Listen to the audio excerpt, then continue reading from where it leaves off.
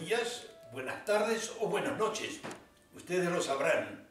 Estamos aquí, España y Argentina, Argentina y España, con el padre Paco Domínguez y Hernán Pereda, un servidor, para contarles algunas pequeñas experiencias de lo que estamos viviendo como una pequeña congregación. Nos explica el padre Paco de qué se trata.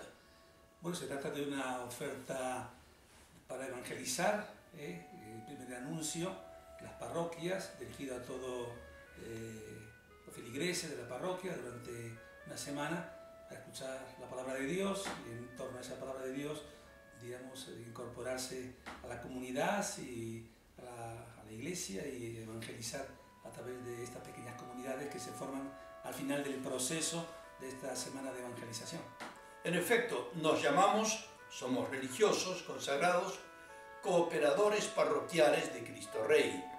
Pero no tenemos como finalidad tener parroquias, sino servir a todas las parroquias de buena voluntad que deseen utilizar nuestro servicio, como nos está diciendo el Padre, a través de ejercicios espirituales y también semanas de espiritualidad o ejercicios espirituales abiertos.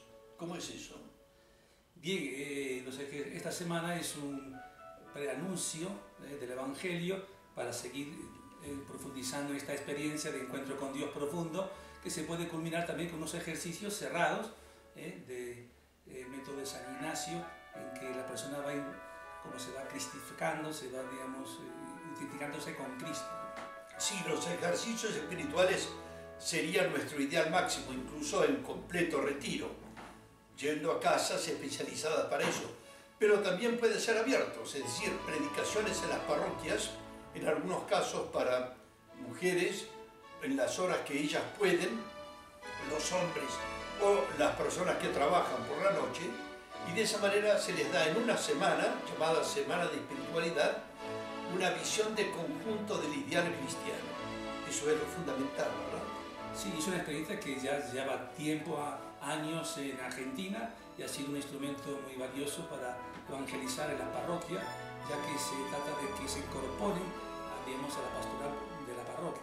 En este momento esto ha ocurrido en América del Sur, en el cono sudamericano, Argentina, Chile, Uruguay muy especialmente porque es como el punto de partida, pero también esto que nació en Cataluña, en España, tiene su lugar central en Francia, pero también ha llegado hasta África, al Congo belga, en la actual República Democrática del Congo, donde se están realizando estas experiencias con un fruto inmenso.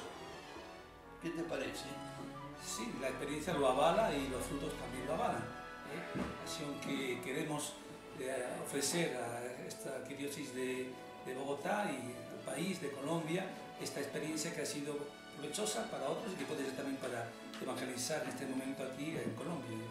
Bueno, estando aquí en el corazón del CELAM, agradecemos muchísimo la buena voluntad de que esto se pueda conocer desde esto a todas las almas de buena voluntad. Os agradecemos la atención de habernos recibido, que Dios los bendiga a todos.